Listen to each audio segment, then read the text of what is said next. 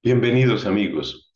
Esta es la entrega número 17 de un total de 33 en que vamos leyendo una obra clásica de la espiritualidad católica, El itinerario de la mente hacia Dios, obra escrita por el santo obispo franciscano Buenaventura en el siglo XIII. Estamos leyendo el capítulo tercero de esta obra, es un total de siete capítulos. En este capítulo tercero Buenaventura nos presenta lo que podríamos llamar una antropología, pero una antropología abierta a Dios, es decir, una especie de exploración del ser íntimo, de lo que somos cada uno de nosotros, hombres o mujeres, y la capacidad que tenemos de abrirnos hacia el misterio de Dios. Para este propósito, Buenaventura sigue la senda marcada por San Agustín, San Agustín nos habla de tres potencias en el alma, la memoria, la inteligencia y la voluntad. En nuestra lectura anterior, Buenaventura nos hablaba de la memoria y cómo la memoria es capaz de recordar cosas que no vienen directamente de los sentidos. Por ejemplo, la memoria puede recordar lo que es un punto y propiamente un punto, lo que se entiende por un punto, en geometría, pues es algo que nunca ha existido en nuestros sentidos. La memoria también puede recordar principios eternos, como los principios propios de la lógica, cosas como que el todo es mayor que la parte o, afirmaciones semejantes. Es decir, que la memoria ya nos abre hacia la eternidad. Hoy vamos a leer el numeral tercero, que es un poco extenso, el tercer numeral o tercer número de este capítulo tercero. Y este numeral se refiere a la inteligencia. San Buenaventura se apoya aquí en la división clásica de las operaciones del entendimiento según Aristóteles. Nos dice Aristóteles que nuestra inteligencia es capaz de comprender conceptos y luego relacionar los conceptos en proposiciones o juicios y después, a partir de distintos juicios, llegar a conclusiones, lo que llamamos un raciocinio. Eso es lo propio de nuestra inteligencia.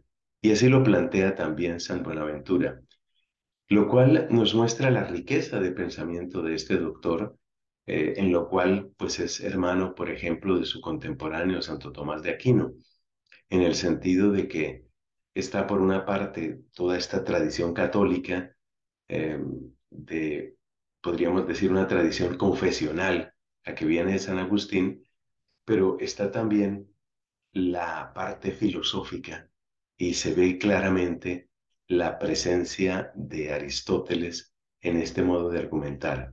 E, esto tienen estos grandes autores medievales que nos están mostrando a la vez la riqueza del pensamiento informado por la fe y la riqueza de la tradición humanística que viene de la antigua Grecia. Así que vamos con este numeral tercero del capítulo tercero, en el nombre del Padre y del Hijo y del Espíritu Santo. Amén.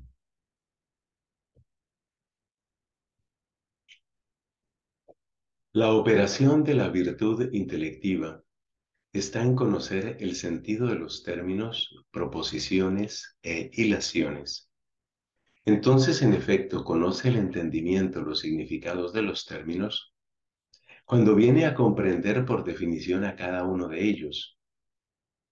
La definición, empero, ha de darse por términos más generales, y estos han de definirse por otro, por otros más generales todavía, hasta llegar a los supremos y generalísimos, ignorados los cuales no pueden entenderse los términos inferiores por vía de definición. De manera que sin conocer el ser por sí, no se puede conocer plenamente la definición de una sustancia particular cualquiera.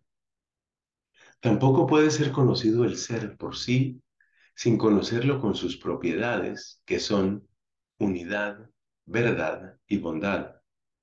Y como el ser pueda concebirse como ser diminuto y como ser completo, como ser perfecto y como ser imperfecto, como ser en potencia y como ser en acto, como ser secundum quid y como ser simpliciter, como ser parcial y como ser total, como ser transeúnte y como ser permanente, como ser por otro y como ser por sí mismo, como ser mezclado de no ser y como ser puro, como ser dependiente y como ser absoluto, como ser anterior y como ser posterior, como ser mudable y como ser no mudable, como ser simple y como ser compuesto, y como en manera alguna puedan conocerse las negaciones y los defectos, si no es por las afirmaciones. Cosa clara es que nuestra inteligencia no llega por análisis al conocimiento plenario de alguno de los seres creados, a no ser ayudada del conocimiento del ser purísimo, completísimo y absoluto, el cual es el ser simpliciter y eterno, ser en quien se hallan las razones de todas las cosas en su puridad. Y de otra suerte, ¿cómo pudiera conocer la inteligencia que tal cosa es defectuosa e incompleta si ningún conocimiento tuviese del ser exento de todo defecto? Y procédase de esta manera en las demás condiciones ya tratadas. Y entonces se dice con toda verdad que el entendimiento comprende el sentido de las proposiciones cuando sabe con certeza que son verdaderas. Y saber esto es saber que no puede engañarse en tal comprensión. Sabe, en efecto, que tal verdad no puede ser de otra manera, sabiendo, como sabe, que esa verdad es inmutable. Pero por ser mudable nuestra mente, no puede ver la verdad reluciendo tan inmutablemente si no es en virtud de otra luz que brilla de modo inmutable del todo, la cual es imposible sea criatura sujeta a mudanzas. Luego la conoce en aquella luz que alumbra a todo hombre que viene a este mundo, la cual es la luz verdadera y el verbo que en el principio estaba en Dios. Pero nuestro entendimiento entonces percibe con toda verdad el sentido de una hilación cuando ve que la conclusión se sigue necesariamente de las premisas, lo cual no solo ve en los términos necesarios, sino también en los contingentes, como por ejemplo, si el hombre corre, el hombre se mueve. Y esta relación necesaria la percibe no solo en las cosas existentes, sino también en las no existentes. Pues así como existiendo el hombre se sigue la conclusión si el hombre corre, el hombre se mueve, así también se sigue lo mismo aunque el hombre no exista. Pero la necesidad de semejante hilación no viene de la existencia del ser en la materia, porque tal existencia es contingente, ni de la existencia de las cosas en el alma, ya que afirmarla en el alma no existiendo realmente vendría a ser una ficción.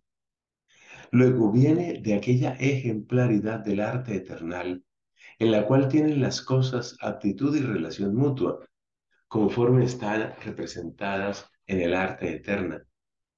Y es que, como dice San Agustín en el libro de Vera Religione, la luz del que verdaderamente razona se enciende por aquella verdad y brega por llegar a ella, por donde se ve a las claras cuán unido está nuestro entendimiento a la verdad eterna, pues nada verdadero puede conocer sino enseñado por ella con que por ti mismo puedes ver la verdad que te enseña, como las concupiscencias e imaginaciones no te lo impidan, interponiéndose como niebla entre ti y el rayo de la verdad.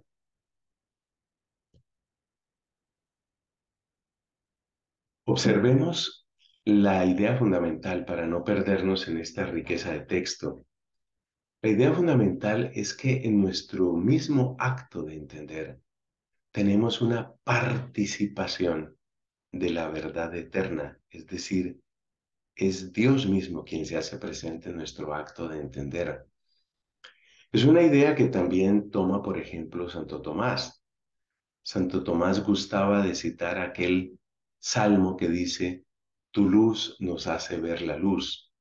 En términos filosóficos, a lo que está haciendo referencia aquí Buenaventura, es al proceso del llamado entendimiento agente, es decir, la capacidad de percibir lo que es abstracto, general y permanente en medio de lo que es mudable, transitorio y contingente. Y esa capacidad de percibir lo eterno claramente no viene de nosotros mismos, y claramente no viene de las cosas, porque tanto las cosas como nosotros somos mudables. Entonces, ¿de dónde viene? Pues proviene de un principio superior que sin embargo se hace presente en nosotros. Y ese principio superior es el logos, es la palabra eterna de Dios. Tu luz nos hace ver la luz. Descubrir este logos es descubrir hasta qué punto somos en realidad imagen de Dios, pero también es descubrir lo cerca que está Dios de cada uno de nosotros.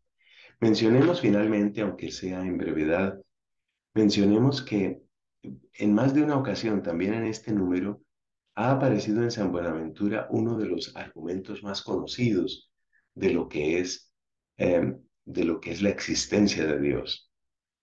Efectivamente, en la cuarta vía de las cinco vías de Santo Tomás se menciona como nuestra capacidad de percibir los grados de perfección habla de nuestra apertura a lo que es perfecto en sí mismo, que no es otro sino el mismo Dios.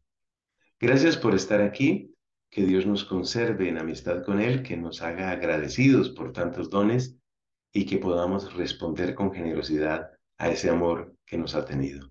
En el nombre del Padre y del Hijo y del Espíritu Santo. Amén.